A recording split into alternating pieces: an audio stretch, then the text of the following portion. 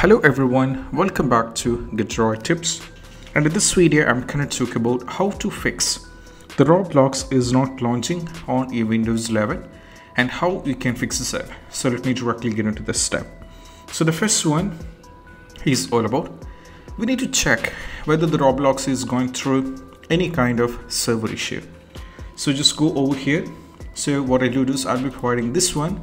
Now you have to search status.roblox.com just need to go to this particular page on your Google Chrome or your Bing. Once afterwards, just scroll down and you can see you'll be getting a green message like this, which state all system is operational. They are all working fine. We don't have any server issue. So you're fine with that. So you have to cross check whether the Roblox is not going through any kind of server issue.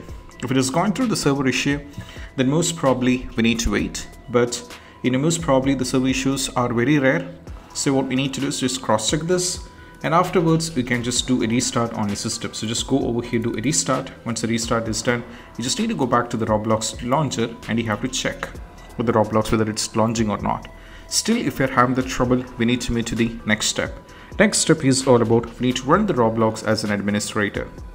So just go over here, right click, go to show more options, go to the properties, go over here in the compatibility and make sure one thing disable the full screen optimization. Click on to run this program as an administrator. Go for apply and go for ok and you have to check. That might work in some cases but if it's not working don't get panicked. We might we might have few more steps as well. Next one is all about we need to add or remove or we need to uninstall the roblox and we have to re-download it back. So just go over here you can search for add or remove program. Just click on this one. That will take you to this page now from here you have to search for the Roblox. And right now the Roblox is here. So just go over here to this three dot and go for the uninstall. Once the Roblox is uninstalled, you just need to go back over here to the Google Chrome and you have to search for Google. And now what we need to do is just go over here, search for the Roblox download. Now you can download the Roblox from here, roblox.com itself. We can download it for the Windows and uninstall and you have to download it from it once again from the site and you have to reinstall it back and you have to check. And the last and the least step, even tried with this, still you're not able to fix the issue. We have one minute, very important step. That is, you need to just go over here in the search, type for run, and you have to click on this one.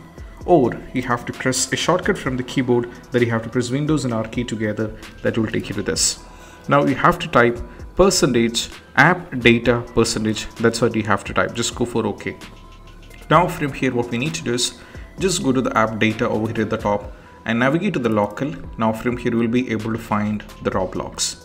So just go to the roblox. Now from here you have to navigate to the folder version. Now from here what we need to do is you just need to go over here version you just need to go to this one first and you have to check you're able to find the Roblox player launcher. So we don't have the Roblox player launcher here, just select this one. And now from here, you have to scroll down and you'll be having the Roblox player launcher here. You can see, just open this.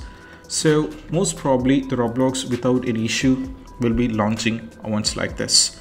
So this is how we can fix the Roblox is not launching on a Windows 11 and how we can fix this up.